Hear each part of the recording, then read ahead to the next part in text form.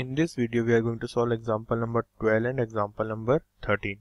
So first we will solve example number 12 then 13. So in example number 12 a survey of 40 children showed that 25% like playing football.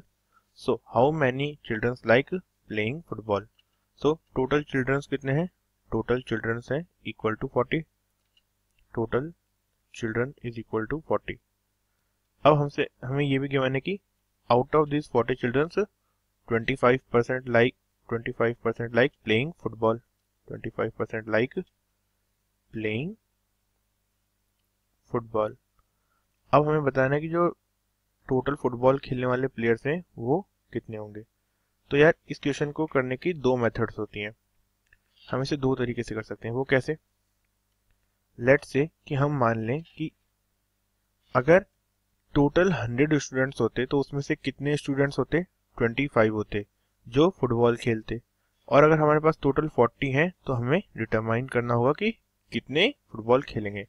तो let say हम इसे दो तरीके से करते हैं। एक को हम बोल देते हैं मेथड वन और एक को हम बोलेंगे मेथड टू तो मेथड वन में क्या है? If out of hundred childrens out of hundred childrens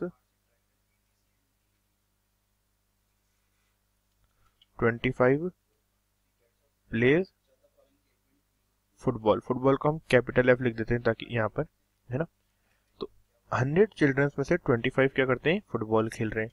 तो अब आउट ऑफ़ 40 चिल्ड्रंस कितने खेलेंगे? तो आउट ऑफ़ 40 चिल्ड्रंस क्या हो जाएगा? आउट ऑफ़ 40 चिल्ड्रन हम कैसे कैलकुलेट करेंगे? तो क्या करेंगे? अगर 100 चिल्ड्रन में से 25 खेल रहे हैं तो मीन्स रेशियो क्या जाएगा? 25 बाय हंड्रेड और इसे मल्टीप्लाई कैसे कर देंगे? फोर्टी से। तो कितने फुटबॉल खेलेंगे? तो इसे सॉल्व करने पर आ जाएगा। It is equal to ten तो टेन प्लेज फुटबॉल तो ये क्या थी? फ़र्स्ट मेथड थी। इसमें टेन प्लेज फुटबॉल इसमें हमें क्या करा? पहले हंड्रेड थे तो ट्वेंटी फाइव प्ले फुटबॉल तो हमने रेशियो निकाला। क्या करा? ट्वेंटी फाइव बाई हंड्रेड आ गया रेशियो इसे पता चला कि out of four childrens one play football तो 40 में से कितना हो जाएगा? One by four into forty. तो आ जाएगा टेन प्लेज फुटबॉल। अब मेथड टू क्या थी? परसेंटेज का रेशियो करके। तो जैसे अगर हमें 40 का 25 परसेंट निकालना होता है तो हम क्या करेंगे? तो जो टोटल चिल्ड्रंस आ जाएँगे total childrens total childrens who like to play football who like to play football उनके लिए हम क्या करेंगे? हम इसका सिंपल सा सॉल्यूशन होता है। हम परसेंटेज से मल्टीप्लाई कर देते हैं। और ये क्या हो जाएँगे? जो फुटबॉल खेलना पसंद करते हैं, ये हो जाएगा is equal to twenty five percent of forty क्योंकि यही करना है हमें। और इसके हम सिंपल सा मेथड होता है। इसमें हम करते हैं forty into twenty five by hundred और ये आ जाता है equal to what this is equal to ten तो अगेन दोनों ही मेथड से आंसर क्या आया सेम आया मेथड वन में क्या करा हमने पूरी स्टेप्स लिखी और इसमें क्या करा हमने 40 का 25 परसेंट निकाल लिया डायरेक्टली तो आ गया this is the final answer now we will solve question number 13 In question number 13, Rahul bought a sweater that saved rupees 20 when a discount of 25% was given. So what was the actual price of that sweater before the discount?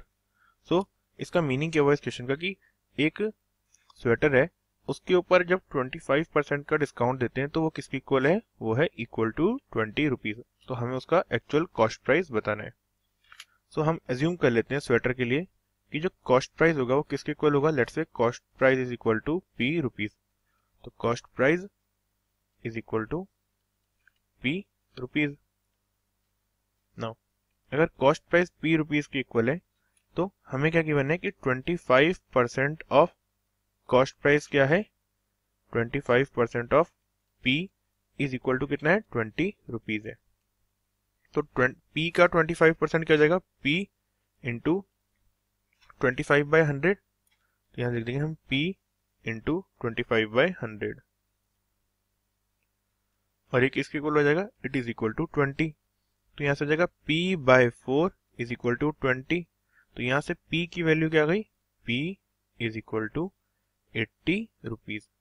So this is the answer for question number 13 and that's how we solve this kind of problems.